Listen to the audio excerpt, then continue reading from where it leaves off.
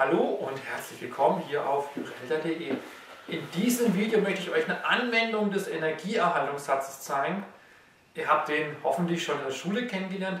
Die Energie in einem geschlossenen System bleibt immer erhalten. Das ist einer der vier großen Erhaltungssätze der Physik und den sollte man in der Schule also auf jeden Fall kennengelernt haben. Das Ganze machen wir an einem Beispiel eines Federpanels. Das habe ich hier dargestellt. Das sind also die Federn. Und in solchem Fall haben wir drei Energiearten, die eine Rolle spielen. Das eine ist die Lageenergie oder potenzielle Energie, W, Pot für potenziell. Die kann ich berechnen, indem ich einfach M, die Masse des Gewichtsstückes, mal G, mal die Höhe, die es über dem niedrigsten Level erhöht worden ist. Also in diesem Beispiel hier drüben habe ich drei Massestückchen, drei Situationen des schwingenden Pendels mal eingezeichnet und das hier sollte der unterste, das die maximale Auslenkung sein. Dann berechne ich die potenzielle Energie immer relativ zu dieser Höhe. Also dieses H sagt mir, wie viel höher als dieser Punkt liegt das Massestück in dem Moment. Das andere ist die kinetische Energie, die Energie der Bewegung, Weg hin. Und die rechne ich aus, ein halb mv Quadrat. Sie hängt also quadratisch von der Geschwindigkeit ab. Wenn ich genau in diesem Maximum bin, der Auslenkung unten oder Maximum Auslenkung im oberen Fall, da habe ich keine Geschwindigkeit mehr, weil das Pendel genau die Bewegungsrichtung umkehrt. Da wäre es natürlich 0 und am Maximal ist genau beim Durchgang durch die Ruhelage. Und die dritte Energie, die uns jetzt noch fehlt, ist die Energie, die in der Feder durch die Verformung gespeichert ist, die äh, Spannenergie WSP und die ist gegeben durch ein halb ds Quadrat. S ist die Auslenkung der Feder aus der Lage, wenn gar nichts an ihr dranhängt. Wir gehen hier von einer massenlosen Feder aus. Diese drei Formeln müsst ihr unbedingt auswendig können. Das sind wirklich Grundlagen. Nun schauen wir uns das Pendel hier mal genauer an.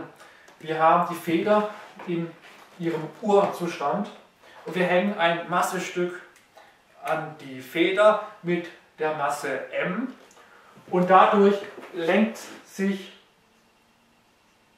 das Ganze um S0 aus. In diesem Punkt hier, in dieser Ruhelage, wirken nun zwei Kräfte, die sich gegenseitig aufheben. Zum einen wirkt nach unten natürlich die Gravitationskraft des Massestücks, also G oder äh, m mal klein g und nach oben wirkt die Feder mit einer Kraft auf dieses Stück und das kann man direkt nach dem Hooke'schen Gesetz ausrechnen. F gleich d mal s ds, also die Auslenkung aus dem entspannten Zustand. Das heißt, hier haben wir F gleich d mal s 0. Nun wollen wir das Ganze schwingen lassen. Das heißt, wir lenken manuell von Hand das Massestück aus und lassen es los und sehen, es schwingt. Und wir wollen nun berechnen, wie hoch schwingt denn eigentlich das Pendel zurück, wenn wir es hier um, sagen wir, S-Dach auslenken, auf welche Höhe, von hier aus gemessen, schwingt eigentlich das Massestück, das ganze Pendel wieder zurück. Das müssen wir beim Energieerhaltungssatz machen. Wir haben hier im Zustand B gleich, die gleiche Energie insgesamt wie im Zustand C. Wir müssen das nur rausfinden. Also wir wissen, WB gleich WC, Energie in Situation B gleich der Energie in Situation C. Wie die Energien sich hier eigentlich zusammensetzen. Nun, WB es hat keine potenzielle Energie, weil wir es ja zu diesem Situation aus messen die Höhe, da ist H 0. Es hat keine Geschwindigkeit V, das heißt auch die kinetische Energie ist hier nicht vorhanden. Das Einzige, was wir hier haben, ist tatsächlich Spannenergie der Feder. Das heißt, in unserem Falle wäre das ein halb D mal die Gesamtauslenkung. Das ist einmal S0 plus S also S0 plus S Dach das Ganze zum Quadrat. Das war schon der Fall WB. Und nun schauen wir uns WC an. Die kinetische Energie ist in dem Fall natürlich auch 0. Die ist nur zwischen diesen zwei Punkten nicht 0. Gott sei Dank fällt die also auch weg. Die potenzielle Energie ist vorhanden. M mal D mal H. Und auch unsere Feder hat noch etwas Energie. Naja, um S und S Dach ausgelegt, aber wieder H zurück.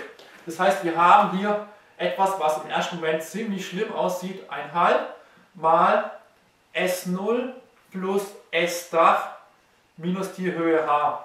S0 plus S Dach und dann von hier aus wieder zurück auf H. Deswegen S0 plus S Dach minus H. Um jetzt das in den nächsten Schritten etwas einfacher zu machen, führe ich eine kleine Bezeichnung ein. Ich nenne das jetzt gemeinsam einfach wieder S. Diese Summe S0 plus S Dach sei einfach S. Und schon sehen wir, hier drüben steht nur d mal s Quadrat, ein halb d mal s Quadrat. Hier drüben haben wir m mal d mal h, hat sich nichts geändert. Aber hier hinten steht jetzt s, und ich habe das Quadrat definiert, s minus h Quadrat, das ist eine binomische Formel.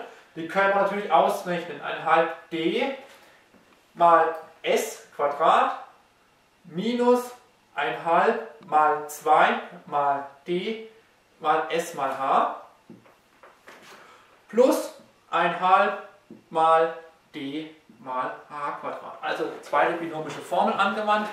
Wenn es zu schnell geht, rechnet das bitte mal von Hand einfach nach. Nun seht ihr auch hier direkt wieder auf der linken und der rechten Seite steht zweimal das gleiche. Das hier ein halb ds Quadrat und hier ein halb ds Quadrat, das können wir direkt äh, eliminieren, indem wir es einfach abziehen würden. Wir müssen ja nach h auflösen, also schauen wir uns mal an, was sich eigentlich mit h ergeben. Hier ein h, hier ein h, hier h Quadrat. Hier drüben steht zwischenzeitlich 0, da wir ja alles gestrichen haben. Das heißt, wir haben hier stehen, h ist gleich, wenn überall 0 ist gleich. Wenn überall ein h drin steht, klammer ich mal das h aus. h mal m mal g plus, das haben wir gestrichen, äh, dann haben wir hier Minus, minus 1 mal 2 gibt 1, also ds. Haben wir ausgeklammert, plus 1 d mal h, wir haben ja ein Paar ausgeklammert. Wir sehen sofort, wenn das 0 sein muss, wir wollen nach h auflösen. Wenn ein H, ein H 0 wäre, wäre das schon gegeben, also H1 gleich 0, aber naja, das ist natürlich genau die Situation hier unten. Die wollen wir nicht ausrechnen, wir wollen ja genau die, die maximale Ausgleich nach oben bestimmt haben, deswegen müssen wir noch weiter suchen. Unsere erste Lösung ist in dem Fall noch nicht befriedigend. Das heißt, was jetzt ist, wir müssen das Ganze hier auch noch 0 setzen, Satz des Nullprodukts. Das heißt, m mal g minus ds plus 1 halb dh soll ebenfalls 0 sein. Wir wollen nach h auflösen. Wir suchen also eine Lösung. Für welches h ist das hier 0? Somit nehme ich diese zwei Terme und bringe sie schon mal auf die andere Seite. Das heißt, 1 halb dh ist dasselbe wie ds minus mg. Ich habe hier mg abgezogen und ds dazu addiert. Wir multiplizieren mit 2 und teilen durch d. Dann haben wir hier h stehen. Ist gleich. Wir teilen durch d, multiplizieren mit 2, dann steht hier noch 2s. Und hier hinten steht minus äh, m mal d mal 2 das gleiche durch d. Und nun müssen wir herausfinden, was hier eigentlich steht. m mal g, schaut mal hier, m mal g ist gleich wie d mal s0. Das heißt, hier vorne steht 2 mal s, s war genau das hier, also 2 mal s0 plus s Dach minus 2 mal d mal S0 durch d. hier können wir das D einfach kürzen. Wir haben also 2S0 plus 2S Dach minus 2S0 da stehen. Naja, 2 ist 0 minus 2 ist 0. Hebt es natürlich genau auf. Hier steht noch 2S Dach. Wir haben also herausgefunden, unsere zweite Lösung, wann die Energien hier nach dieser Sache wieder gleich sind. Wenn H genau zweimal S Dach ist, schauen wir uns die Lösung hier drüben an. Zweimal S Dach, von hier bis hier ist schon S Dach, bis zu der Ruhelage, also wo das Pendel gewesen wäre, wenn ich überhaupt nicht ausgelenkt hätte. Also zweimal S-Dach, es geht genau gleich weit hoch, wie ich es nach unten ausgelenkt habe. Das Pendel hat also beides mal die gleiche Auslenkung, nur ein anderes Vorzeichen.